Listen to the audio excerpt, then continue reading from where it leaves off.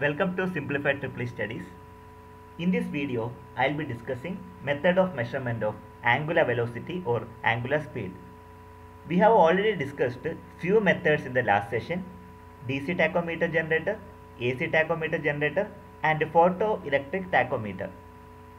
Now, I am going to discuss one more method that is eddy current tachometer in this session.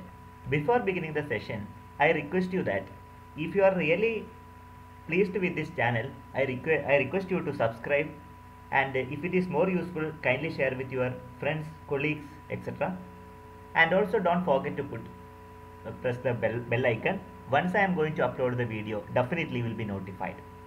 Let us talk about eddy current tachometer. Anyway, you have you have you know the importance of eddy current. Okay. Anyway, you know what is Faraday's laws of electromagnetic induction. Suppose consider two permanent magnet, north pole, another will be south pole. Just an example. In between, you are keeping a conductor. You know that the magnetic flux that will be traveling from or that will be direct from north pole to south pole like this. Okay. And you know that the flux will be interacting with the conductor. As a result, the flux linkage takes place and uh, EMF will be induced. Along with the, the EMF is induced, suppose if the conductor is closed, there will be formulation of continuous circulating current. There will be formation of circulating current. That particular circulating current is known as eddy current. One angle eddy current is uh, con, but if I take if I talk about eddy current, there are lot of pros. Okay, definitely there are pros and cons current because con. If I talk about disadvantage, I mean con. Uh, the problem is heating effect. Okay, more amount of uh, heat will be generated, and also eddy current is directly proportional to the frequency. Okay, you know, and uh, in the in the sense, if I talk about the advantage, we can make use of the many things. You might have heard about the induction stove that is based on eddy current heating only. Okay, so we are going to start a new playlist on utilization of electrical power. In that I will be discussing about different type of heating methods. Okay, uh, let's come to the point. So regarding the eddy current, I have just given the brief information about eddy current. Now if I talk about the eddy current type tachometer, first of all what you are supposed to do is you need to consider the diagram. So we have a permanent magnet. Can you see the permanent magnet? This is your permanent magnet which is having north pole and south pole. I have indicated here. I put a tick mark here. Now we can able to see there is a rotating shaft, mechanical shaft, a rotating shaft, okay, of an engine or whatever it may be. That is directly connected to the particular permanent magnet. I put a tick mark here. Yes.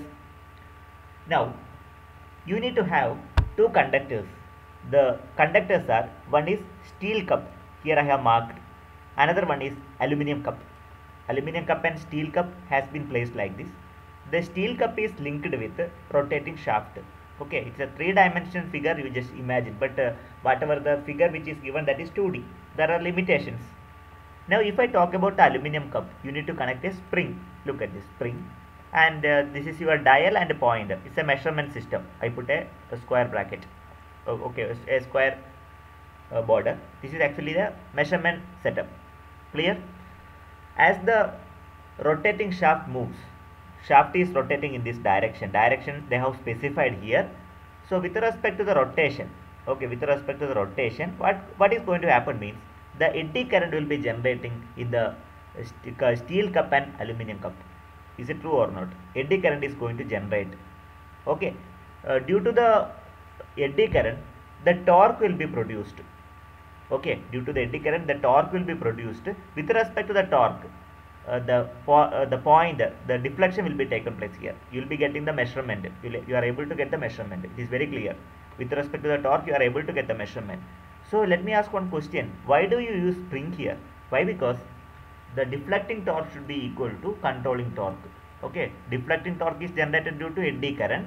That uh, torque has to be compensated. Then only you can able to get the measurement. So deflecting torque must be always equal to controlling torque. Then only the pointer uh, keeps in a particular position in a dial it should be pointed no so deflection torque should be equal to controlling torque that means damping should be taken place clear so this is the way how uh, the indication will be taken place. Let's come to the point. As the speed of the rotation sh- rotating shaft is high, of course the torque will be more. More torque will be generated. Therefore, you are able to get the particular uh, readings corresponding to the increasing torque. So this is the way how eddy current tachometer operates. So uh, let us look at the construction. Shaft is connected to a permanent magnet. Steel and aluminum cup is available. Then spring is for controlling torque and dial and pointer is there for measurement setup. So it works based on the eddy current. See, eddy current produced in the disc, both aluminum and steel produces, of course, a deflecting torque. That is true. It depends on the disc rotation, how fast it is going to rotate. As the speed increases, of course, it's rotated. It is rotating very fastly, uh, and eddy current varies and uh, changes in the deflection and obtained output. So output scale can be calibrated in terms of shaft speed. So certain calibrations are required. So this is regarding eddy current tachometer. In this session, I have discussed one more type measure one one more method of measurement of uh, speed angular speed or angular velocity. So rest of the method I already covered in my previous video. Uh, the link is available in the description box and I button. Kindly go through that first. Later you can come back to this particular video. And uh, if you need any extra topic which I wanted to do, I request you to put a certain uh, comment your own comment you can put in the comment box definitely that is a great input for me i'm expecting for that and also you if you require the notes kindly share your mail id definitely i'll revert i'm trying to share the ppt to my students so definitely uh, I, i'll try to help you uh, as much as possible okay? Anyway i'm very thankful for your kind support. Happy learning. Have a good day